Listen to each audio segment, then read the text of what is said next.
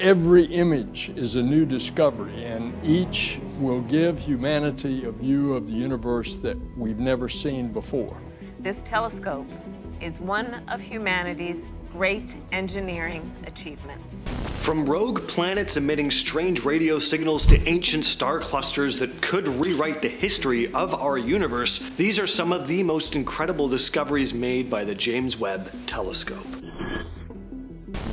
Did the James Webb Telescope spot an unnatural object out in space? Well, just back in September of this year, there was this wave of excitement online as a rumor spread that the James Webb Telescope had spotted a large moving object about 10 light years away from Earth, possibly an alien spaceship. Now, according to various posts, this mysterious object exhibited an unnatural change in trajectory, leading many to wonder if this was some sort of alien craft craft or a piece of technology. There were also claims that members of Congress were being briefed about this discovery by the National Security Agency and the US Department of Defense. The details of this briefing were said to be kept under wraps from the public, of course. As this story started circulating, UFO enthusiasts joined the conversation. On September 21st, US Rep. Andre Carson, who had previously led a congressional hearing on unidentified aerial phenomena, was asked about the JWST briefing, but me had no comment, which of course just got people even more curious than before. NASA hasn't released any information about detecting this mysterious object, but could they be covering something up to avoid mass panic? There's also been some recent talk about the James Webb Space Telescope finding signs of life on a distant planet called K2-18b. But scientists at the University of California, Riverside say the excitement might be a little premature. While we all want to find hard evidence of alien life on a distant planet, at least most of us anyway, it looks like we might have to hold our breaths a little longer. That doesn't mean there isn't interesting news to talk about though. K2-18b is pretty cool. It's about 120 light years away, a super Earth with eight times the mass of our planet, and it sits in its star's habitable zone. This means might have water, and where there's water, there very well could be life. The planet also has temperatures that are very similar to Earth's, so that's another good sign. The James Webb also spotted some interesting stuff in its atmosphere, like carbon dioxide and methane. One of the biggest finds was something called dimethyl sulfide or DMS, which is made by tiny ocean plants. The fact that DMS has been detected in the atmosphere means there could very well be life producing it. Scientists are continuing to observe the planet with different tools on the James Webb to get a clearer picture. They believe that if life does exist there, it might show up in ways we don't see here on Earth. So even though this isn't exactly the news and breakthrough we were hoping for, it's still a step in the right direction in our never-ending search for life beyond our planet. The James Webb Telescope spotted distant galaxies that aren't supposed to be there. Well, that sounds ominous. These galaxies, visible as tiny reddish dots in the deep field images, are packed with mature red stars and appear to be from a time just 500 to 700 million years after the Big Bang. Typically, astronomers expected to find young, small galaxies from the universe's infancy, formed shortly after the so-called Dark Ages, when the universe was filled with a thick fog of hydrogen. Instead, JWST's observations showed galaxies that are not just large but also much older than anticipated. We had specific expectations for the type of galaxies that live in the early universe. They are young and small, said Joel Leja, an assistant professor at Penn State. What's shocking is that some of these galaxies are estimated to be 50 times more massive than previously thought, possibly rivaling the mass of our Milky Way when the universe was only 3% of its current age. This discovery could change everything scientists thought they knew about how galaxies form. A black hole blowtorch. That also sounds pretty ominous. This story just came out under a month ago. Astronomers have spotted a gigantic blowtorch-like jet shooting out from a supermassive black hole, which is causing nearby stars to explode. So, space is terrifying. The massive jet stretching 3,000 light years comes from a black hole six and a half billion times the mass of our sun. The energy beam is so powerful that just being near it it can be catastrophic for cosmic objects. Again, researchers have observed an increase in star systems exploding. We don't know what's going on, but it's just a very exciting finding, said study leader author Alec Lessing from Stanford University. He also said that the discovery points to gaps in our understanding of how black hole jets interact with their surroundings. Typically, supermassive black holes pull in matter, heating it up to emit light billions of times brighter than any star. They can also launch enormous jets of energy that extend throughout galaxies. While astronomers understand that these jets shape galaxy evolution, the specific effects on nearby star systems are mostly unknown. The James Webb Telescope has recently spotted jets of ancient gas shooting out from a distant comet like object called a centaur. These findings are helping scientists understand how these centaurs formed, what they're made of, and how they eventually form into full-fledged comets. Plus, these centaurs can actually tell us a lot about the formation of the solar system. Centaurs are usually found in the icy Kuiper belt beyond Neptune, but gravitational nudges from Neptune or close encounters with stars can push some of them closer to the sun. There are over 500 known centaurs, but experts think there could be as many as 10 million out there. Sara Faggi, a postdoctoral researcher at NASA's Goddard Space Flight Center, states centaurs can be considered as some of the leftovers of our planetary system's formation. Because they're kept at very low temperatures, they hold onto important information about the early solar system. End quote. One centaur is called 29P Schwassmann Wachmann 1, which spews out gas every six to eight weeks, which I wish was the frequency for me.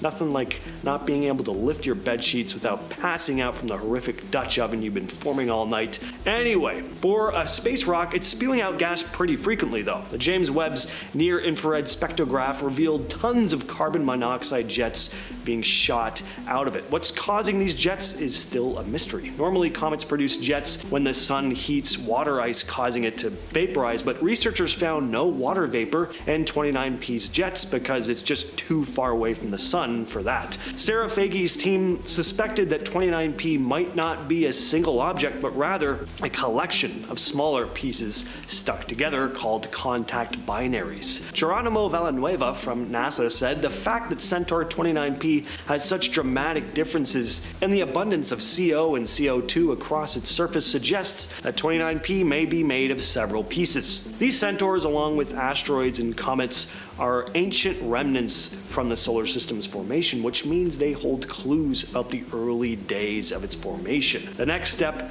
is to keep observing 29P to see if the jets change, which could give more insights into its behavior and structure.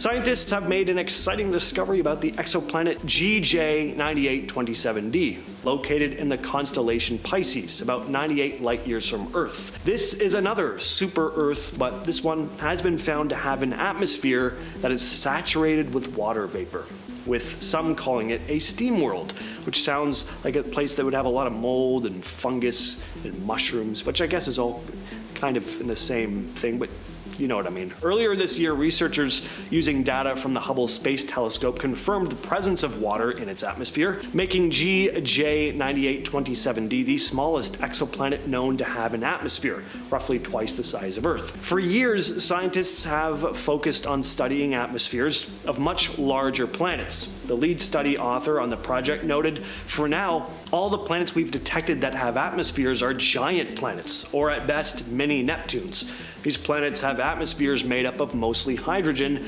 making them more similar to gas giants in the solar system than to terrestrial planets like Earth, which have atmospheres dominated by heavier elements. End quote. Now, what's really cool about this small exoplanet is that its atmosphere is rich in heavier molecules with a substantial amount of water vapor, so very different from the atmospheres usually seen on larger planets. Now, the surface temperatures on GJ9827d are around 350 degrees Celsius, making it unlikely to support life, but this is still a great step in finding other planets with similar atmospheres to Earth that could be suitable for life. The James Webb recently spotted six planets drifting through space, completely unbound from any star's gravity. They're called rogue planets and these six were seen about 960 light years away, ranging from 5 to 10 times the mass of Jupiter. The reason why scientists are so interested in these rogue planets is because it challenges our understanding of how planets form. Traditionally, planets are thought to develop from leftover gas and dust during star formation, but these new findings suggest that massive planets can also form directly from collapsing gas clouds, similar to the way stars are born. Along with the rogue planets, they also detected brown dwarfs, mysterious objects that are larger than planets but smaller than stars. This isn't the first time the JWST has found free floating planets either. In 2023, it recorded 42 pairs of gas giants known as Jupiter mass binary objects or JUMBOs in the Orion Nebula. The researchers are still studying the planets to try and find out exactly how they formed. Speaking of Jupiter mass binary objects though, let's talk more about them and the strange radio signals they seem to be giving off. So in 2023, the James Webb Space Telescope identified some rogue planets in the Orion Nebula. Among them, they found a pair of strange entities known as Jupiter mass binary objects, jumbos. Researchers have found that around 80 of these rogue planets exist in pairs, orbiting each other at distances ranging from 25 to 400 times the distance between Earth and the Sun. The nature of jumbos is still a mystery. Scientists aren't sure whether they're true planets or something entirely new. Larger than planets, but smaller than brown dwarfs. Researchers have also detected strange radio signals from one of these jumbo pairs, specifically Jumbo 24.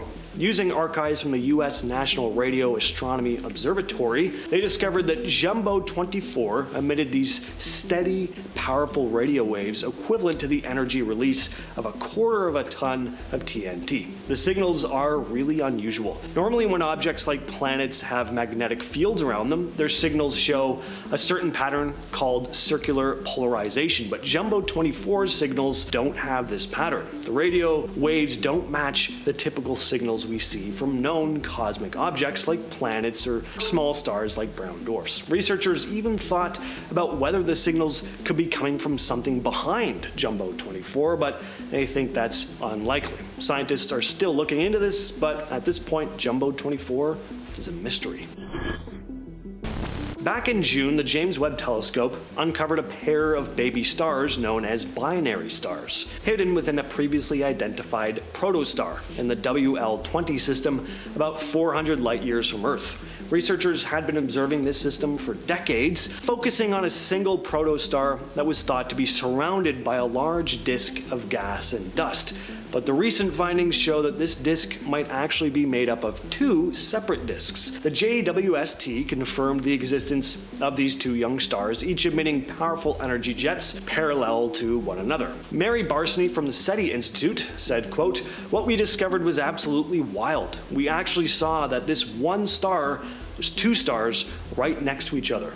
The two stars are estimated to be between 2 million and 4 million years old, which sounds old, but that's just a tiny fraction compared to the sun's 4.6 billion years. These are baby stars. Researchers believe that the remaining material from the disks around these stars could eventually form into exoplanets.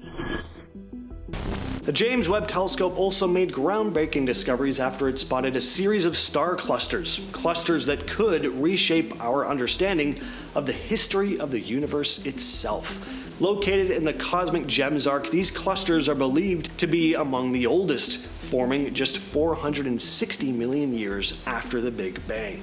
The James Webb allowed scientists to identify five massive and dense star clusters within this arc. The clusters likely emerged during an intense period of star and galaxy formation. Now, unlike ancient star clusters in our Milky Way, though, which have been around for billions of years, these young clusters are giving them insights into the early stages of star formation and, by extension, helping them understand how the universe may have evolved. With all that said, I've been your host, James, and I'll catch you, yes, you specifically, in the next video.